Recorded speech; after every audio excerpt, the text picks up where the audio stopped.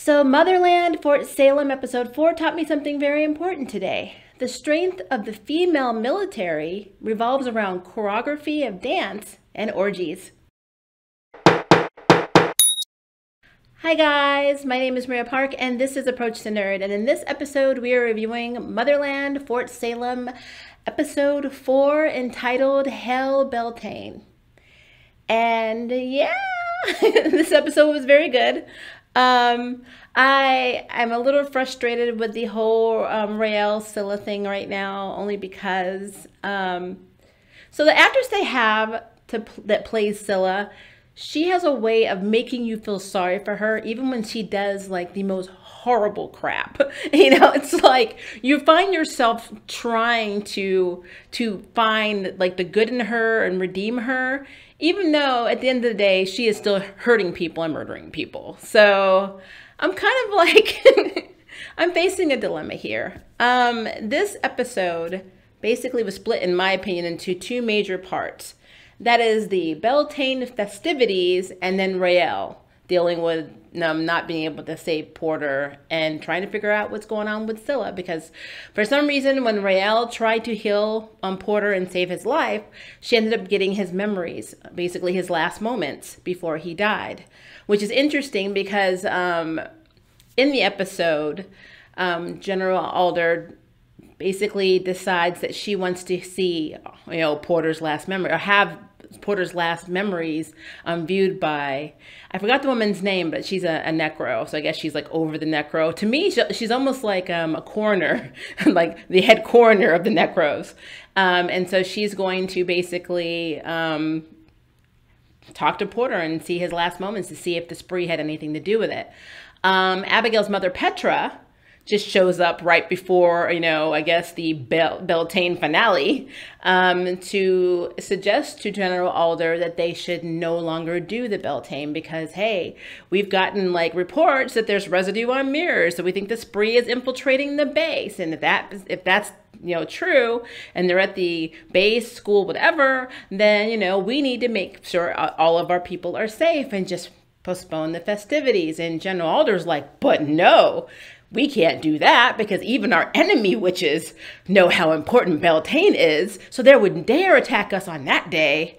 And that just got me thinking. I already have sneaking suspicions that Alder was the one that started the spree and that, you know, Anacostia is in on it. The way they looked at each other during that meeting with Petra, um, Abigail's mother, just re- it reconfirms to me that they are in control of the spree. Because of course, Alder's not gonna say, "Hey, you know, this big you know, custom event we have, you know, that celebrates our, you know, womanhood our, and lets us, you know, basically be free, you know, with our sexuality, and then basically empowers us to be stronger. Which I'm, that's what I'm thinking is happening. The power of dance and the power of sex are like boosters, like almost like uppers for the units, um, that possibly cannot be canceled because the spree know how important and everybody knows how important Beltane is.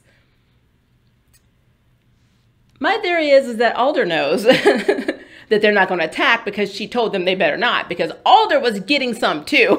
I'm just saying her and the witch father were getting it on during Beltane. So, of course, if you know that you've got a date to get some and you probably don't get some the rest of the year, yeah, they're not going to attack you because you're the leader. Just saying. um, but yeah, so that it, it was very interesting. Scylla is not working alone. We actually see at the end of this episode um, that there's another person that has a lighter that can change their face or identity, like um, Scylla's been doing, and was basically pretending to be Raelle. And when you know Scylla starts making out with who she thinks is Raelle, um, it turns out to be an older woman. I cannot like I've skimmed the episode. I'm I'm sometimes good at finding Easter eggs. I can't place this woman. I don't know if we've seen her in an earlier episode, if she's just somebody that's just a random, you know, maybe a random teacher, maybe a necro, maybe a medic, and we just maybe she's been in the background. I don't know if we've seen this older woman, but this older woman is definitely Spree, and she says your job was to get her closer to us, not you, basically. And she's like choking Scylla out. And it just it just opens up so many questions. Like why do they want Raelle so badly? I mean if you think about it abigail is like military royalty. She's from a long line of bell you know the Bellweathers are just very famous very very famous in the military back to the the very first slave who was you know i guess one of alder's very good soldiers generals whatever why not go after Abigail unless you're getting close to Raelle to get to Abigail? Because there is an episode coming up next week where they're going to her family's wedding and it looks like a lot of stuff goes down. There's like blood all over Abigail's face. Looks like some stuff hits the fan next week. But I just really want it's just really interesting that of all the all the um the candidates or units that they want Raelle, the one person that's trying not to be there, the one person that, you know, to me, yeah, she's a very talented, you know, um fixer, but like, why do you want Raelle so bad? I mean, even Tally, Tally has shown like she's almost a prodigy, you know, seer. So like, I don't get it. Or knower, I guess is what they call them. I don't get that. Why are they specifically going after Raelle unless Raelle's mother's not really dead and her and Raelle's mother's in the spree? And maybe there's a lot more about the spree we don't know. They've done some horrible stuff. They've done mass murders, but maybe there's another section to that. Maybe there's another group altogether that's not the spree that's in the middle somewhere and that's what they belong to. I don't know. What I do know is something is going on. And the whole like um so like Petra and Anacostia and them are just going around to you know during Beltane to mirrors because you know Petra was under the suspicion that that's how the spree are communicating with each other. So when they go to Scylla's room, you know Petra is like blowing on the mirror, and you know when she turns away, you see a glimpse of the balloon. But I'm like, if somebody was helping Scylla, you know, they're not going to let her get caught. So I don't know why they did not figure that out. But it's just it's just so much. It's so many questions that I have. Like Okay, so Scylla, of course, when they're going through the whole let's talk to Porter, see his last words, she can't get into the room to stop them because apparently you have to be on ice all day for them to do this. And they put like a bird in your mouth, bird flies in your mouth, and then, you know, like in that window of time, you're able to like talk or communicate. And um, Scylla couldn't get in the room, so she upped the temperature. But my problem with that is I cook a lot. so, you know, I know that um, when you thaw something out, it's not instantaneous. If it was, then my, my, you know, cooking adventures would not take as long. so like, what did she think she was going to accomplish by having 10 seconds of heat? like, but whatever. But somebody helped her. She wasn't even expecting it. So of course somebody's going to help her with the mirror. And Anacostia was the only other person I think. I don't think there was a third person that was checking the mirrors, and she could have been chanting an incantation or doing one of their seeds or whatever to conceal what was in the mirror. So where we see her looking at a mirror and it looks like she's checking the mirror, she may actually have been really aware that it's Scylla's mirror and she is doing something to stop Petra from seeing it. That's what I think because I am so certain that Alder is the original founder of the spree. Because without the spree they are not relevant anymore. There's no need to have her in power. And one thing that we do know is that Alder needs to stay in power. So yeah there's that. So let's talk about the beltane. The beltane is basically a giant dancing orgy. That is what it is. I'm sorry. I don't know how I know this world is very like free and accepting and you know, sex isn't like taboo. So I get that. That's great.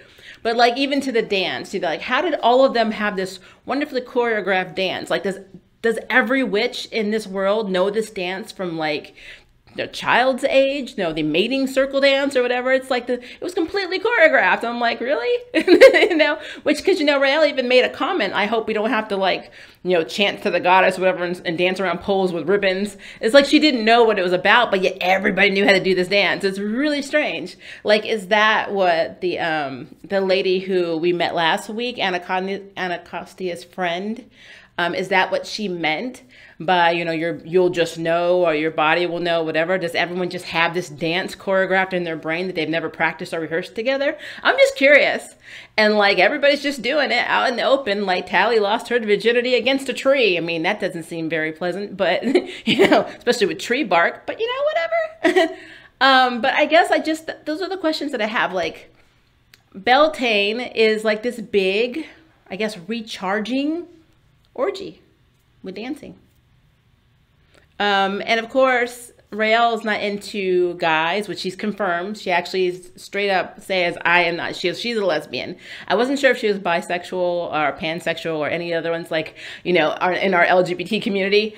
Um, but she straight up says, "I am not into guys." And the guy that she meets, that's Porter's friend, says, "Well, I'm not into girls." So they kind of hit it off, and then they have like a really cool conversation. But like, at the same time, he confirms that Porter was not suicidal.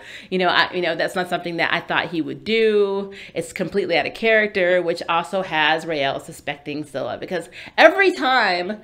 Um, Raelle has a headache and has a flashback. She sees Porter going up to talk to Scylla. And Scylla's like kind of not really coming clean because she says, did, did you see him that night? And she would never say anything. Um, but after like the person covered for her, Scylla was able to you know confidently go back and say, "Oh yeah, he did come and he was trying to get back to you know together with me, and whatever you know, yada yada yada." I guess my problem with that is that Raelle is so trusting, like and and to clear this up, Raelle actually asked the guy that she's hanging out with, the other queer basically at the party, um, he she's like, Have you ever been in love with someone and they did something horrible, you know, and it's unforgivable, and you know, basically you you want to believe the best in them, you want to stay with them, yada yada. But Raelle says in love. But when Scylla's talking, she says, I like you. so I'm like, huh. I mean, Raelle literally is like, no matter what happens, I'm with you. No matter what anyone says, whatever, you know, blah, blah, I am there.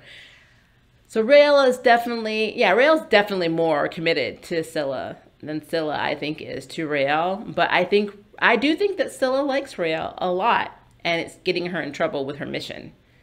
Um, so yeah, that's, that's an interesting little side thing there. But yeah, all in all, I mean, it wasn't a bad episode. Um, Another thing that kind of made me feel a little awkward was the scene where Alder is getting it on with the witch father and her her biddies are like around like holding their arms up. It's almost like they're sharing an orgasm and I'm like that is a Yeah, that was a little weird.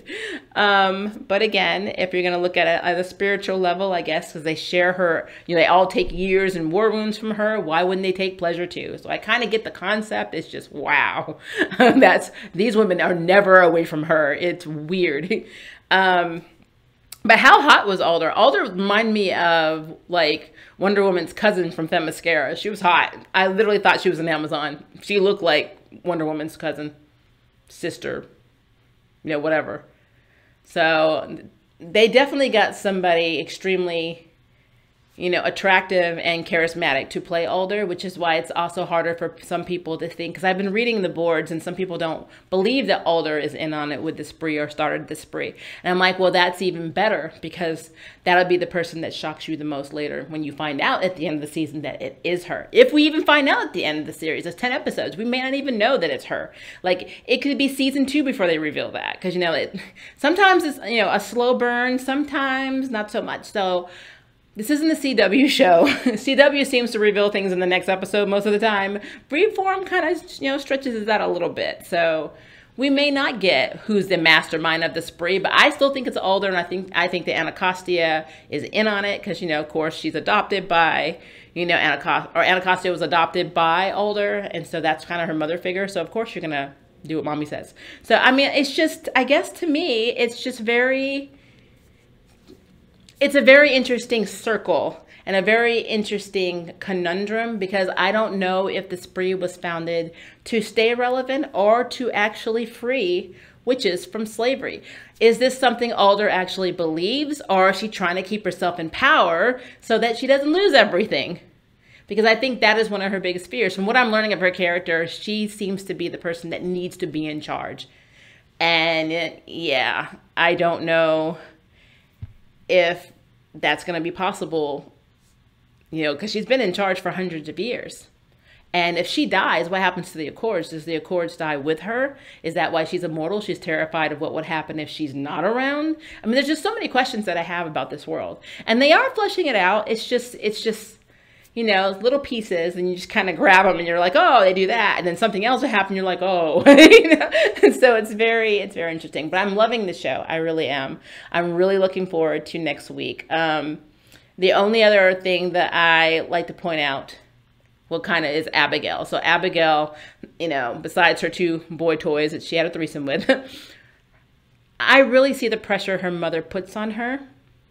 And there's a part of the episode where Tally's talking to her because she's seeing um, Garrett, the guy that she likes, the one that she, you know, wants to be with and actually loses her virginity to, is, is talking to other girls. And so Tally's like, has no experience with guys. So she goes to Abigail and she's talking and, you know, Abigail gives her a pep talk. And then, of course, Tally's like, easy for you to say, you know, you're always confident. And then, you know, Abigail basically for a second said not always, or that you basically that that wasn't always the case. And Tally's like, I don't believe you. And then Abby turns it like that. And that's her personality. You can see it when she has banters with Libba. You can see it when she's talking to Raelle. But you really saw it when her mother was confronting her in the hallway. And her mother was always like, oh, your team number or unit numbers aren't where I think they should be. And yada, yada. She's like, there's so much pressure from her mother to succeed that I think it's to the point where I don't know if Abigail really wants to be, you know, in the war college. And Libba even points that out that she doesn't seem to be trying, you know. I think her mother really is putting so much pressure on her. She doesn't want to be her mother. And I think we're going to learn a lot of drama about that next week. Um, especially when she mentions about in the trailer, she says, "This is my mother and all my dads." And I'm like, "How many dads do you have?" like that's that's interesting. Um, but the other thing about Raelle is her and I'm sorry, Abigail, her and Raelle are having um, it almost seems like every week they get a power up in their friendship or like they level up. So when some of the students were talking about Raelle and how she basically tried to say Porter and went out of bounds or whatever, Abigail like quickly defended Raelle. And I thought that was really interesting. And she even told Raelle, we were proud of you. And it just seems like their whole, especially since um, the last episode when they went into town together, when they went to um, Salem Town and they had pizza together, their relationship and their friendship has definitely 180 since episode one.